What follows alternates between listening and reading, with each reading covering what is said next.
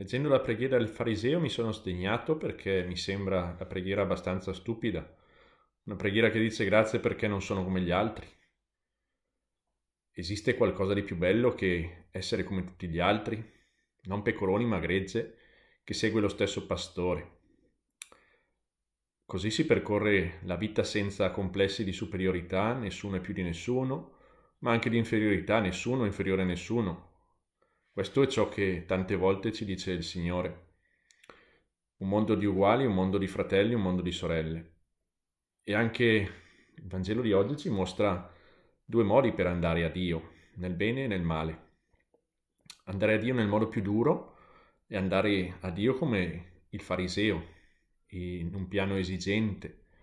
Sono coloro che vogliono comprare Dio per i loro meriti, credono di essere giusti e quindi non hanno bisogno che Dio li giustifichi. Per loro Gesù è un lusso. Non c'era bisogno che venisse in questo mondo. Loro, con le loro opere, meritavano il cielo.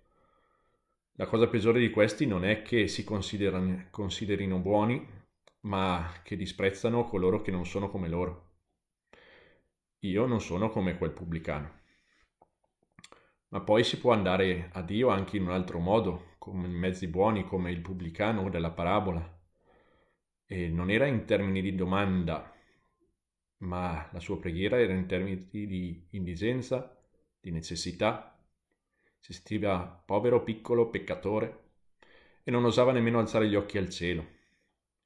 Se il fariseo stava davanti a Dio con i pugni chiusi, chiedendo tutto ciò che gli doveva, questo pubblicano sta davanti a Dio con le mani aperte, pronto a ricevere il perdono di Dio.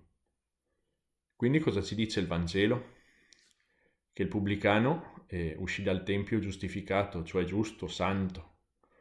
Non lo meritava, certo, ma non è una questione di merito, è una questione di grazia. Dio ha fatto tutto e sempre gratuitamente. E invece al fariseo, cosa è successo, cosa gli è capitato?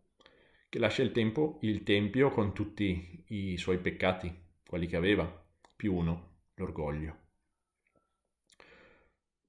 Quindi per il proposito che possiamo fare oggi, per questa giornata, potrebbe essere di trascorrerla scoprendo e guardando di buon occhio le persone accanto a noi. Non sono né più né meno di me, sono i miei fratelli, sono le mie sorelle, sono come me. Buona giornata a tutti.